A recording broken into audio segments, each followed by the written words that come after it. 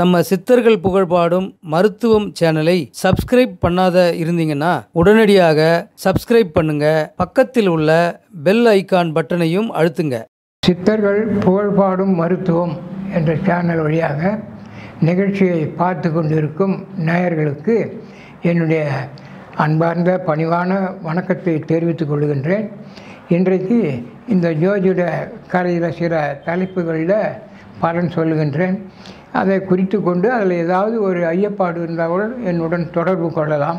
சரம் ஸ்திரம் உபயத்தை பற்றி சொல்கிறேன் ச சரம்னா நம்ம எல்லாமே மேஷ லக்கணத்துக்கு தான் பார்க்கணும்.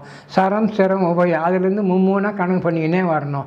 மேஷம் சரம் ரிஷபம் ஸ்திரம் மிதுனம் உபயம் அந்த மாதிரி. அப்புறம் கடகம் சரம் அப்படின்னு பார்க்கணும். சரராசியாக இருந்ததுன்னு சொன்னோம்னா இந்த லக்கணத்தில் பிறந்தவர்கள் சுறுசுறுப்பானவர்கள். தாராள மனம் இருக்கும். வெளியூரில் தான் வாழ்க்கை எப்படின்னு சொல்லியிருக்கிறேன் ஸ்திரரகத்தில் பிறந்தவர்கள் பூர்வீக ஊரிலேயே வாழ வேண்டிய ஒரு நிலை ஏற்படும். கடினமான உழைப்பு பொதுநல சேவை செய்யக்கூடியவர்கள் உபயலக்கணத்தில் பிறந்தவர்கள் உள்ளூர்லேயும் வெளியூர்லேயுமா தான் வாழ்வாங்க.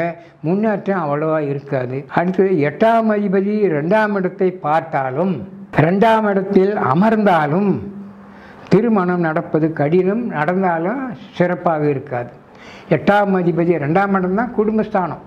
எட்டாம் அதிபதி ரெண்டாம் இடத்தை பார்த்தாலும் அமர்ந்தாலும் திருமணம் நடப்பது கடினம். நாலு ஒம்பது பதினொன்று சுக்கரன் தனித்து அமர்ந்தால் மறுமணத்திற்கு வழிவகுக்கும். நாலு ஒம்பது பதினொன்று.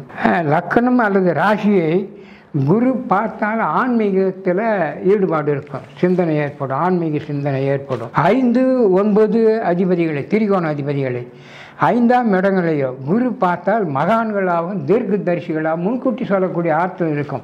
அஞ்சாம் இடத்தையோ அதிபதியோ அல்லது அஞ்சாம் அதி இடத்தையோ ஒன்பதாம் அதிபதியோ ஒன்பதாம் இடத்தையோ குரு பார்க்கணும். குரு பார்த்தா முன்கூட்டி சொல்லக்கூடிய முக்காலமும் உணரக்கூடிய தீர்க்க தரிசியாக இருப்பார்கள். அஞ்சில் குருவும் கேதுவும் இருந்தால் அருள் வாக்கு சொல்லலாம். குறிமேடை வைத்து சொல்கிறாங்களோ அவங்கள அது பழிக்குன்னு சொன்னோம்னா இந்த மாதிரி இருக்கணும். ஜென்ம லக்கணத்தை புதன் பார்த்தால் கணித கலையில் வல்லவனாக இருப்பான். புதன் தான் கணிதத்திற்கு கணக்குக்கு காரணமானவன் புதன் தான். ரெண்டாம் அதிபதி ஆறு எட்டு பன்னிரெண்டில் அமர்ந்தால் வரவுக்கு மீறிய செலவு இருக்கும் எவ்வளோ வந்தாலும் கடன் தான். அது அப்போ போயிடும். வரவுக்கு மீறிய செலவு. சுக்கிரன் ராகு கேதுவோடு சேர்ந்தால் மாங்கல்ய தோஷம் கண்டிப்பாக சுக்கிரன் ராகு கேதுவோடு சேரக்கூடாது. ஏழாம் அதிபதி சுக்கிரனை கு- ஏழாம் அதிபதி சுக்கிரனை குரு பார்த்தாலும் சேர்ந்தாலும் மனதிற்கு பிடித்த மனைவி அம்மையார் குரு கிடக்கூடாது. ராசிக்கு அல்லது லக்கணத்திற்கு ரெண்டில் சூரியன் இருந்தால் சிறந்த பேச்சாளர் ஆகலாம். ராசிக்கோ அல்லது லக்கணத்துக்கோ ரெண்டுல சூரியன். அண்ணாவுக்கு கடக லக்கணம் ரெண்டுல சூரியன். வாக்குஸ்தானத்தில் சூரியன் இருந்தால் சிறந்த பேச்சாளராக இருப்பார்கள். லக்னாதிபதியோடு ராகு கேது கூடி.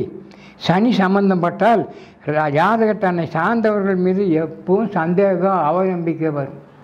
லக்னாதிபதியோடு ராகு சேரக்கூடாது கேது சேரக்கூடாது சனியும் சேரக்கூடாது லக்னாதிபதியோடு. லக்னாதிபதியோடு இவங்க மூணு பேர் சேர்ந்தால் யார் பேர்லேயும் அவநம்பிக்கை தான். சந்தேகம் தான் வரும். பொண்டாட்டி பேரில் சந்தேகம் வரும் அப்பா அம்மா பேரில் எல்லா நண்பர்கள் எல்லா பேர்லையும் சந்தேகம் வரும். குருவும் ஐந்தாம் அதி பலம் எழுந்து ஐந்தில் ராகு அமர்ந்தாலும் ஐந்தாம் இடத்தை ராகு பார்த்தாலும் ஜாதகருக்கு பிறக்கும் குழந்தைகள் இளம் வயதிலே இறக்க நேரிடும். இதுவும் அப்படியே நடக்கும். ஐந்தாம் இடத்தை பல குரு பலம் எழுந்து அஞ்சாம் இடத்தை பார்க்கணும் அஞ்சு ராகு பார்த்தாலும் ராகு இருந்தாலும் அஞ்சாம் இடத்தை பார்த்தாலும் இருந்தாலும் ஏழாம் இடத்தில் சூரியனும் சுக்கரனும் மிக நெருங்கி இருந்தால் ஓணமுற்ற குழந்தை பிறக்கும். அல்லது சுக்கரன் அஞ்சு ஒன்பதில் இருந்தால் கூட நெருங்கி சூரியன் சுக்கரன் நெருங்கி அஞ்சு ஒன்பதில் இருந்தால் கூட அந்த ஓணம் உள்ள மனைவி தான் அமைவாங்க. நான் ஒருத்தருக்கு ஜாதகம் பார்த்தேன். இவருக்கு மனைவி வந்து ஊனமுற்றவங்களாக இருப்பார்களே என்று சொன்னேன். இது கண்டிப்பாக அந்த மாதிரிலாம் அமையும் அது குரு ஐந்தாம் மதி ஏழாம் மதிவி ஆட்சி உச்சமின்றி பலம் இருந்த ஜாதகருக்கு குழந்தை பேர் இருக்காது. குழந்தைகள் பிறந்தாலும் அவர்களால் கஷ்டங்களை அனுபவிக்க நேரிடும். சூரியன் அமர்ந்த வீட்டிற்கு ரெண்டு பன்னிரெண்டில் செவ்வாய் புதன் குரு சுக்கரன் அமர்ந்தால் பேரும் புகழும் பெற்று வாழ்வார்கள். ஆனால் இல்வாழ்க்கை சிறக்காது. சூரியனுக்கு ரெண்டு பன்னெண்டில் செவ்வாய் புதன் குரு சுக்கர அப்படி இருந்தால் இல்வாழ்க்கை. கல்யாணம் ஆகும் இல்வாழ்க்கையெல்லாம் சிறப்பாக இருக்காது. இல்வாழ்க்கை சோனியா காந்தி அம்மையாருக்கும் அப்படி தான் இருக்குது. கிருபானந்த வாரியாருக்கும் கல்யாணம் ஆச்சு இல்வாழ்க்கையில் அவர் ரொம்ப ஈடுபடலை. ஆனால் பேரும் புகழும் சந்திரன் அமர்ந்த வீட்டிற்கு ரெண்டு பன்னெண்டில் இப்போ சூரியனுக்கு சொன்னது போல் செவ்வாய் புதன் குரு சுக்கரன் அமர்ந்தால் ஜாதகர் சொந்த முயற்சியால் பொருள் ஈட்டி ரொம்ப கோட்டீஸ்வரனாக வாழ்வார். கலைஞர் நடிகர் டி. ராஜேந்தர் இவர்களுக்கெல்லாம் இந்த அமைப்பு இருக்குது.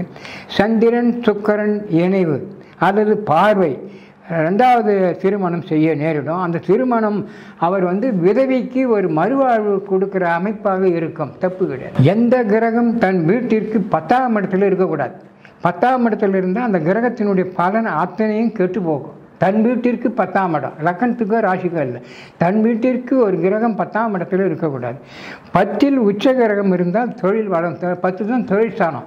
அங்கே ஒரு கிரகம் எந்த கிரகமோ ஒன்று உச்சம் பெறலாம் வருமானம் அதிகமாக இருக்கும். பத்தில் செவ்வாய் சனி உச்சமானால் யாரையும் மதிக்க மாட்டாங்க. செவ்வாய்னா அது அப்படி தான் பண்ணும் அது. மாமியார் மாமனார் கூட மதிக்க மாட்டாங்க. யாரையும் மதிக்க மாட்டாங்க. யாரை பார்த்தாலும் எட்டும் கவுத்தும் பேசுவாங்க. அப்போ பத்தில் வந்து அந்த தொழில் ஸ்தானத்தில் செவ்வாயும் சனியும் உச்சம் ஆகக்கூடாது. மிதுன லக்கணத்திற்கு ஆறில் அதாவது விருச்சிக லக்கணத்தில் புதன் அமர்ந்தாலும் கன்னி லக்கணத்திற்கு ஆறில் புதன் அமர்ந்தாலும் சனியில் கனி கண்ணியில் அமர்ந்தாலும் சனி கண்ணியில் அமர்ந்தாலும் ஜாதகர் அலி ஆவார். அவருக்கு அந்த வாழ்க்கை அமையாது. புதன் சுக்கரன் சேர்க்கை அல்லது பார்வை அல்லது பரிவர்த்தனை ஜாதகரை ஏதாவது ஒரு துறையில் மேதையாக்கும். சுக்கரனும் புதனும் பரிவர்த்தனை ஆகலாம். தப்பு கிடையாது. ஏதாவது ஒரு வகையில் துறையில் அவர் உயர்ந்த நிலைக்கு கொண்டு போகும் சூரியனோடு சுக்கரன் இணைந்து கேந்திரத்தில் அமர்ந்தால் சூரியனும் சுக்கரனும் இணைந்து கேந்திரத்தில் அமர்ந்தால் காதல் தோல்வி ஏற்படும். அது கேந்திரத்தில் இருக்கக்கூடாது. வந்து இது சூரியன் புதன் சுக்கரன் கேந்திரத்தில் இருந்தால் ஒரு பெண்ணுக்கு அந்த மாதிரி இருந்தால் அந்த மாதிரி கொஞ்சம் ஒழுக்கம் க கடக்கூடிய நிலையில் தான் இருக்கும். அடுத்தது இப்போ தெருவுக்கு தெரு கோயில் இருக்கும். கோயில் இல்லாத ஊரே இருக்காது. ஒரு கோயிலினுடைய கோபுரத்தினுடைய நிழல் வந்து நம்ம வீட்டு மேலே நிழல் விழக்கூடாது கோபுரத்தில் எதிர்லேயும் வீடு இருக்கக்கூடாது. நேர் செங்குத்தா எதிர்லேயும் எதிர்வாடிலையும் வீடு இருக்கக்கூடாது. அதே மாதிரி விநாயகர் கோயில் சிவன் கோயிலுக்கு எதிரில் வீடு இருக்கக்கூடாது. விஷ்ணு கோயிலுக்கு பின்னால் வீடு இருக்கக்கூடாது. அப்படி இருந்தால் அந்த வீடு விருத்திக்கு வராது. வம்சம் தழைக்காது. அந்த வீடு அதோட கெடுபடும். நான் இது வந்து அனுபவத்தில் பார்த்துருக்குறேன். அந்த கோயிலுக்கு எதிரில் இருக்கிறதோ அந்த கோபுரத்தினுடைய நிழல் நம்ம வீட்டு மேலே விழறதோ இருக்கவே கூடாது. இத்துடன் இன்றைய நிகழ்ச்சியை நிறைவு செய்து கொள்கின்றேன். மீண்டும் சந்திக்கும் வரை வணக்கம் கூறி விடைபெறுகின்றேன்.